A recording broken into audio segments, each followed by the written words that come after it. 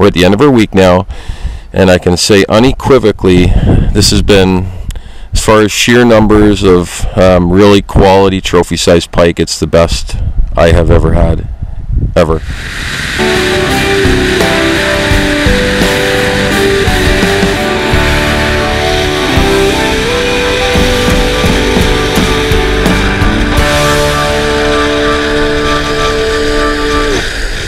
Just started. It's our first morning on Misekumaw, and uh, pretty decent pike.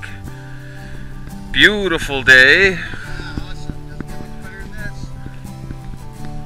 The doctor is in once again.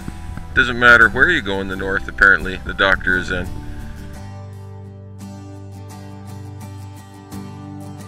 Moments after that last fish. Oh, we got another one here.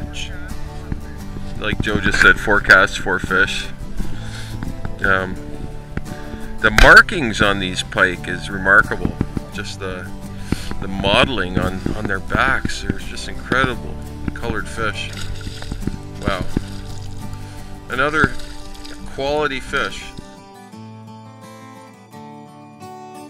Wow. Another quality pike. It's not a very long video because this thing just hit literally right beside the boat. Wow. Another girthy Misekumaw Lake pike on the doctor spoon. Look at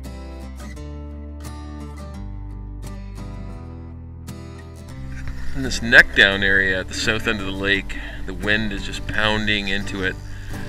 And uh, pretty well defined neck down, about 8 to 10 feet deep, with some reeds on the edges. Just before I hooked this fish, we had another one that was picture worthy. Oh, it just got off. Darn it. That was a that was actually a pretty pretty good one. And another neck down here. Two casts. I just switched to a white spinnerbait. There's some green weed here. First real green weed we've seen. Two casts, two quality fish. It's a very, very clear, deep, rocky lake trout lake. Like even most of the bays, uh, with some notable exceptions, most of the bays are rocky, crystal clear water. So we're using oh, a variety of different things, but like white and more natural colors like that, I think are probably a real good choice in this clear water. And obviously the pike agree. Hey, Hey, I think we got a pretty good fish on here. first cast. First cast. Let's have a look at this fish.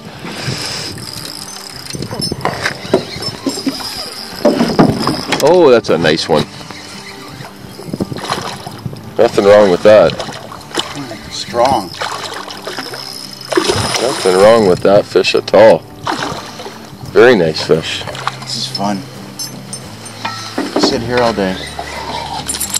Mm. All right. Looks like Mike's got a good one on. Right after Joe's fish, Just released it. there's a bit of a neck down here. It's 12 feet right in front of these reeds. It's an almost ideal spot. And uh, yeah, it's a pretty decent fish. Still haven't seen sign of it yet. Oh yeah, some big head shakes. This one is on a white spinnerbait, and he just inhaled that There he is. Nice pike.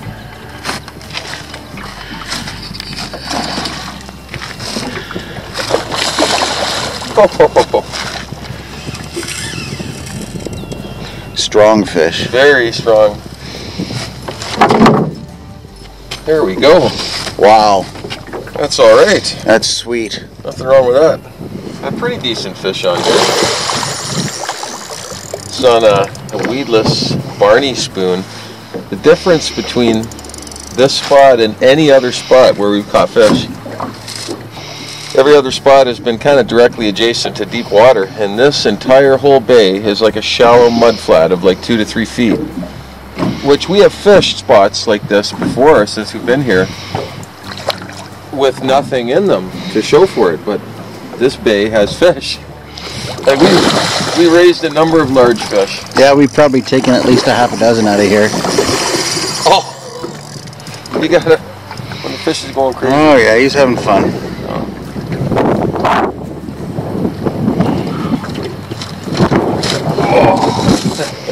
Nothing wrong with that. No. Beauty. Okay. Today is loaded with fish.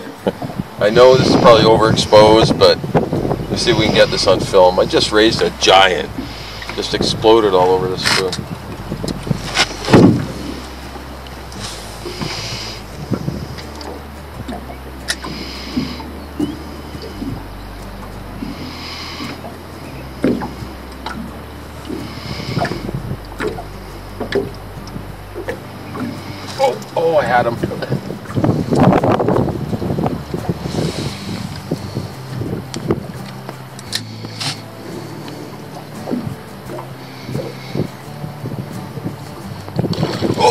God. Oh, oh, I got it, I got it. I got, oh, it's off. Hmm. Oh my god, I got, oh. He hit it again. Oh my god. Oh, that was a nice fish. It's right there. Oh, oh my God. Do not come to Misekumaw Lake if you have a heart condition hmm. because this is heart stopping. Moments, literally moments before Joe hooked this really nice fish. He got one that uh, we tape, put the tape on it. It was right on, on 40. So this is amazing little network, uh, this part of the lake here. That is a really nice, thick fish. Um, there's a big creek arm that, that comes in. We just barely worked our way into it. These are the first two fish we hooked. That's a big, fat, thick fish. Holy cow. Okay, we're still against the shore, messing around here. Joe just put a band-aid on his thumb. We just landed the last one. He just threw out the 39.75 inches the last one. He just threw out his pink and white doctor spoon. We haven't even moved out of the spot here where we landed that last fish. Haven't seen, days! haven't seen days. One after another. First bay of the day. What I would classify as an A plus plus spot. Joe made one cast with his pink The go-to. the go-to lure, the pink and white swirl doctor spoon. And there's the result: a chunky, hefty pike. Which um, you know Not what, Like a submarine. Mr.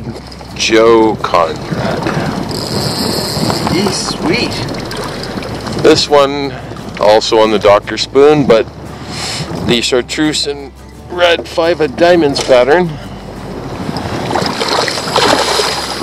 He jumped clear out of the air to grab this thing. I missed that. I was dealing with my own little mid-sized pike, or as we like to call them in the trade, the Toyota Camry. Come here, you.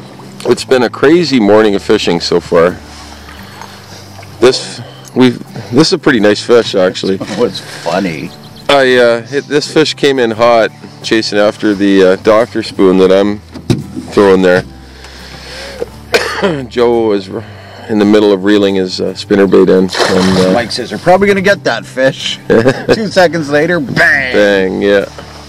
We've probably caught I don't know like a dozen this size so far, Yeah. and there's something going on with the weather. Like it's the first kind of good wind we've had in days. It's been blowing hard from the north, or from the sorry the southeast the last few days. It shifted to the north late last night, and now we have a, a light sort of northwest wind this morning and cloud cover for the first time all week. And the fish are on like Donkey Kong today. Yeah, that's the one. Beauty. That'll be it. That's the one that uh, followed my lure right in. That this morning is insane. It's just one after another, after another, after another, after another. I can attest to that. Yes. It's a pretty nice fish actually.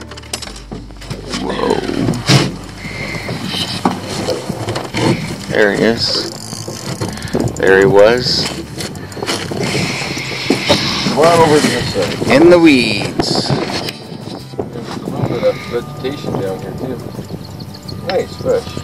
It's been like perfect conditions today. Once again on the doctor's spoon. Pink and white swirl, doctor's spoon.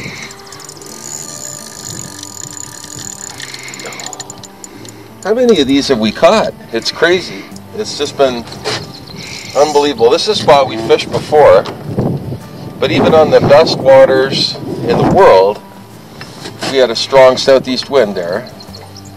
The last couple days, there's something going on with the pressure. They're on today anyway.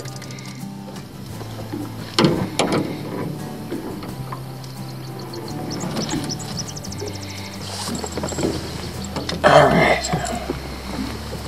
The doctor. Okay, we're gonna about to leave our killer spot that we've just been fishing for the last hour and a half or so. This is actually the entrance to the McIntyre River, and we're about to go through this neck down where there's some pretty serious current and uh, huge deep pool below. But we're gonna work our way down. The water's flowing out of Misekumaw Lake, so we're going with the current here, and we're gonna work our way down the McIntyre. It's kind of like a widening almost, not only where it, there's neck downs is there obvious current, and then it's kind of like almost like small lakes. But anyway, here we go through the first neck down.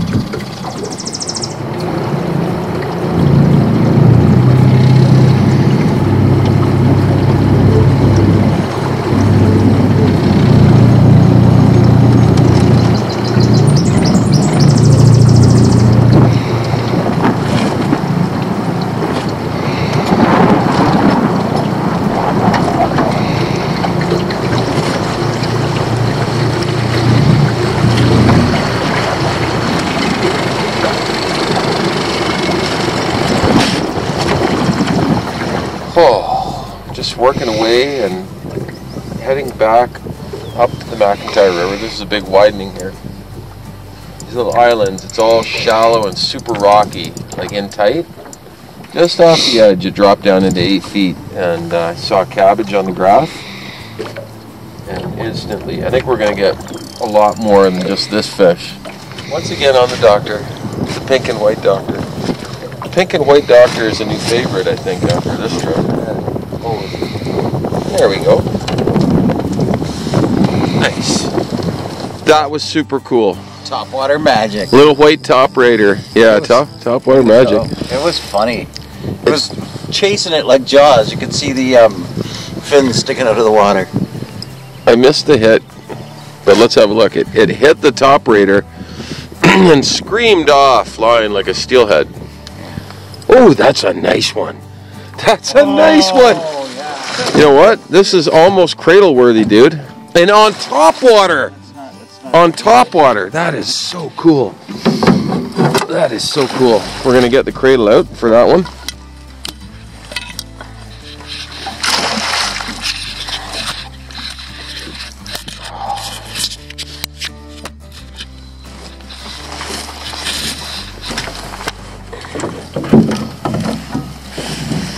It's not really gonna work like that. Ah, there we go. We got it. Oh, oh wicked. That's funny, eh? Woo! Right on. Wow. Pretty nice one. It's like a big, big, big shallow bay, two, three feet deep, but it's dark bottom with boulders. And there's a little creek flowing in right there. Nice fish. Yeah, this one's all right. On the pink and white doctor spoon again. What a shock. Yeah. It's been giving you a pretty good fight, too. Yeah. Hopefully, where there's one, there's more. We just we just pulled into this bay. Yeah. It's all wrapped up now. There. Oh, yeah. Unroll for me, honey. Oh, she barely hooked. okay. Let's see. Let grab it. Nice. Oh. Oh. right on. Nice fish. Look at that. Beauty. Good catch. Mike just uh, just released a photo fish. Now Oh my god. it's a gigantic No, one, we it's, think. It's, it's a pretty nice one. It's not super giant, but. Oh, no. Shoot. Bye bye. Keep, keep it running. Keep it running just for a second. Watch this. Oh, but that, That doctor spoon's been just on fire. it pushed water like just. Oh, that fish was crazy. That one there. And then and then when it hit the spoon, it just started running. There it is. I think it's another decent one. Oh yeah, Oh my god. this is another good one. What a bay! Fish after fish. OMG. I haven't had a chance to fish. We just keep taking more photos.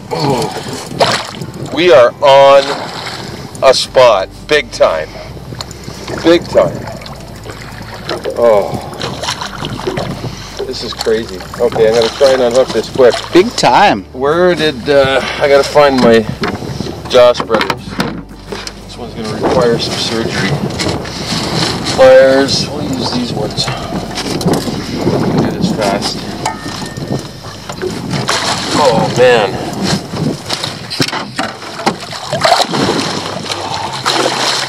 It's like a terrier on the end of my line. Okay. We're in another little bay here. There's a creek filtering in. Oh yeah, that's a nice one. That uh, gold darn pink doctor.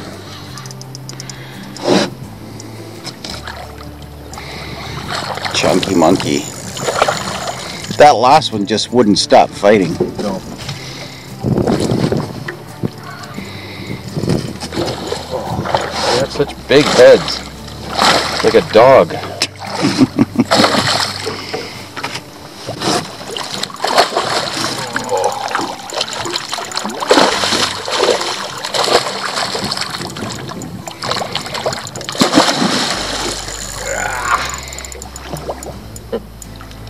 here, honey.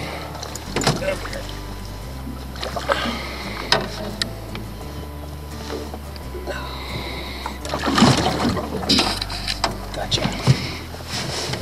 That was a lot more cooperative. Oh, all right. Nice. So we just get to this spot. Looks great.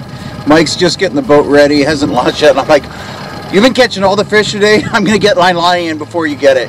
First cast. Look what happened. On the doctor. Nice fish. This is a wicked spot, I think. I mean, first cast.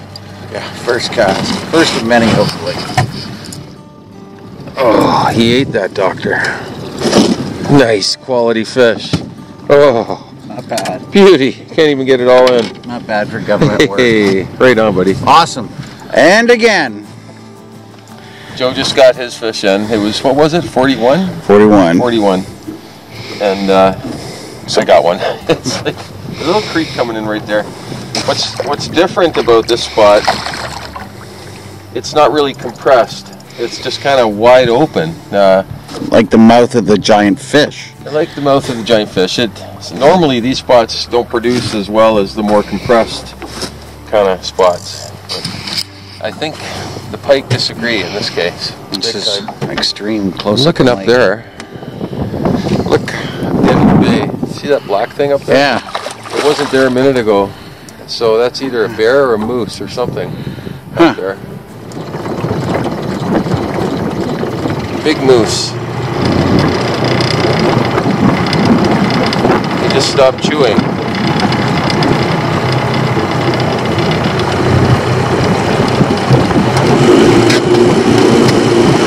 This one's on the uh, chartreuse five of the and red five of diamonds, Doctor. Swing it around to the upwind side.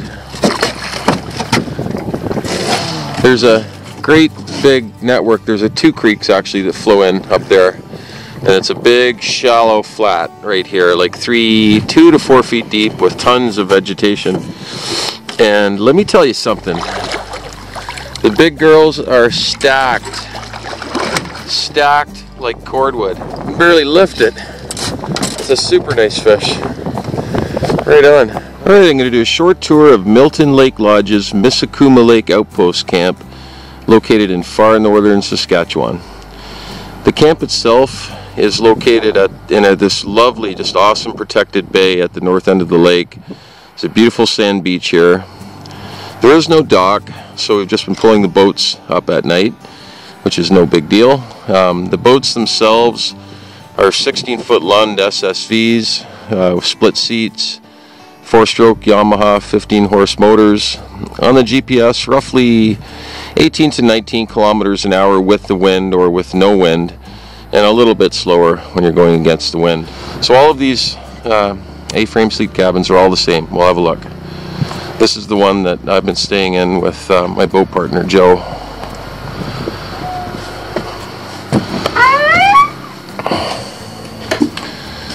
So finished nicely inside with tongue and groove pine. There's four beds with uh, mattresses that are quite decent, no complaints whatsoever. Uh, there is electric lighting here. Uh, as I said, the camp is wired for electricity. There is a generator running. It's usually shut off late at night. So, and there's outlets here. I've just got a little camera charging right now so you can charge things.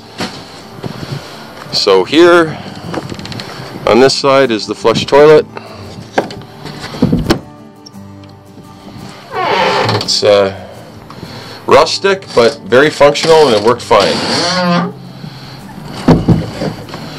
And on this side is a little vanity with the shower with obviously lots and lots of hot water and electric lighting in here too. Barbecue on the deck here.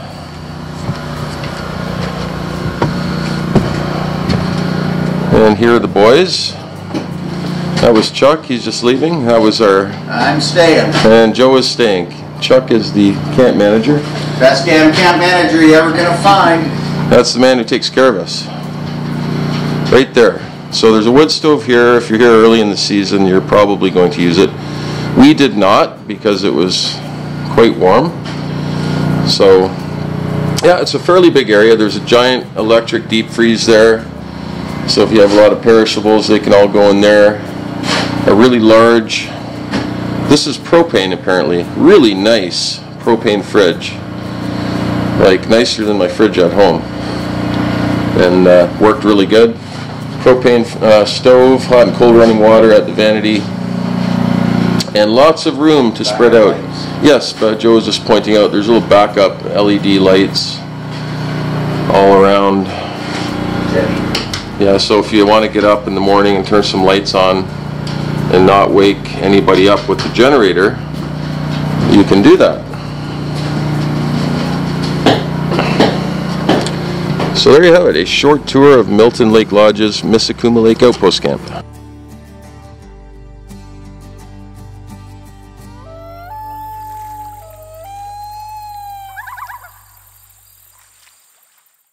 What are your goals on this trip, sir?